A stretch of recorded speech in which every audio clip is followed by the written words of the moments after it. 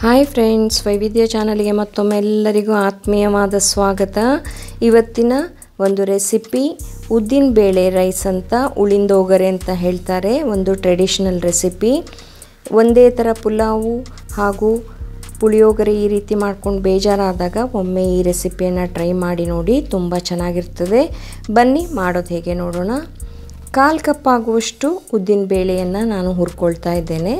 ಉದ್ದಿನ ಬೇಳೆ ಸ್ವಲ್ಪ ಪರಿಮಳ ಬರುವವರೆಗೆ ಹುರ್ಕೊಳ್ಬೇಕು. ಉದ್ದಿನ ಬೇಳೆ ಹುರಿದಾದ್ಮೇಲೆ ಕಾಲು ಕಪ್ಗಿಂತ ಕಡಿಮೆ ಕಾಳು ಮೆಣಸನ್ನು ತಗೊಂಡು ಅದನ್ನು ಹುರ್ಕೊಳ್ಬೇಕು. ಹಾಗೆ ವೈವಿಧ್ಯ ಚಾನಲ್ನಲ್ಲಿ ಬರುವಂಥ ಎಲ್ಲ ಹೆಲ್ದಿ ರೆಸಿಪಿಗಳನ್ನು ಲೈಕ್ ಮಾಡಿ, ಶೇರ್ ಮಾಡಿ ಹಾಗೂ ಸಬ್ಸ್ಕ್ರೈಬ್ ಮಾಡೋದನ್ನು ಮರಿಬೇಡಿ. ಹಾಗೆ ನಾಲ್ಕು ಒಣಮೆಣಸನ್ನು ತಗೊಳ್ತಾ ಇದ್ದೇನೆ. ಗ್ರೇಟ್ ಮಾಡಿಟ್ಕೊಂಡಂಥ ಒಣ ಕೊಬ್ಬರಿಯನ್ನು ಕೂಡ ಹಾಕೊಳ್ತಾ ಇದ್ದೇನೆ. ಒಣ ಕೊಬ್ಬರಿಯನ್ನು ಹಾಕುವಾಗ ಗ್ಯಾಸನ್ನು ಆಫ್ ಮಾಡಿಕೊಂಡ್ರೆ ಸಾಕು. ಸ್ವಲ್ಪ ಹುರ್ಕೊಂಡ್ರೆ ಸಾಕಾಗ್ತದೆ. ನಂತರ ಕಡಾಯಿಯಲ್ಲಿ ಕಾಲು ಚಮಚ ಆಗುವಷ್ಟು ಕೊತ್ತಂಬರಿ ಹಾಗೂ ಕಾಲು ಚಮಚ ಆಗುವಷ್ಟು ಜೀರಿಗೆಯನ್ನು ಹಾಕೊಳ್ತಾ ಇದ್ದೇನೆ.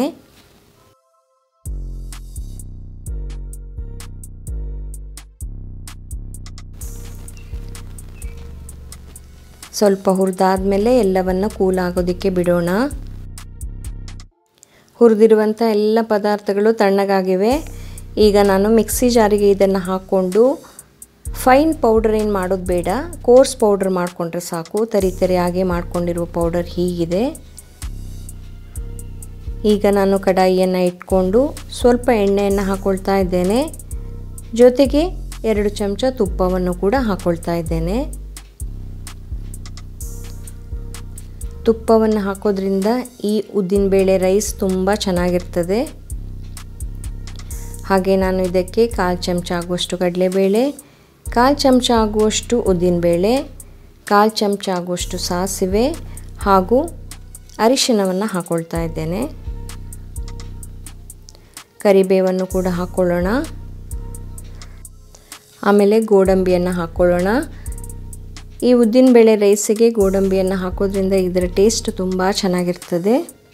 ಎಲ್ಲವನ್ನು ಚೆನ್ನಾಗಿ ಹುರ್ಕೊಳ್ಳೋಣ. ಹಾಗೆ ಕಾಲು ಚಮಚ ಆಗುವಷ್ಟು ಇಂಗನ್ನು ಹಾಕ್ಕೊಳ್ತಾ ಇದ್ದೇನೆ.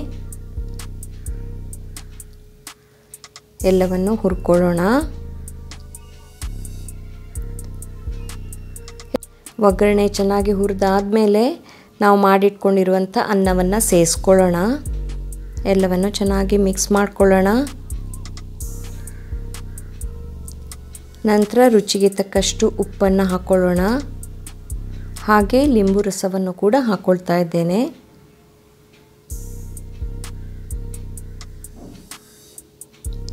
ಆಮೇಲೆ ನಾವು ಮಾಡಿಟ್ಕೊಂಡಿರುವಂತಹ ಪೌಡರನ್ನು ಇದಕ್ಕೆ ಸ್ವಲ್ಪ ಸ್ವಲ್ಪ ಸೇರಿಸ್ಕೊಳ್ತಾ ಬರಬೇಕು. ನೋಡಿಕೊಂಡು ಎಷ್ಟು ಬೇಕೋ ಅಷ್ಟು ಪೌಡರನ್ನು ಮಿಕ್ಸ್ ಮಾಡ್ತಾ ಬರ್ಬೋದು. ಈಗ ಮತ್ತೆ ಸ್ವಲ್ಪ ಉಳಿದಿರುವುದನ್ನು ಹಾಕ್ಕೊಂಡು ಮಿಕ್ಸ್ ಮಾಡ್ತಾ ಇದ್ದೇನೆ.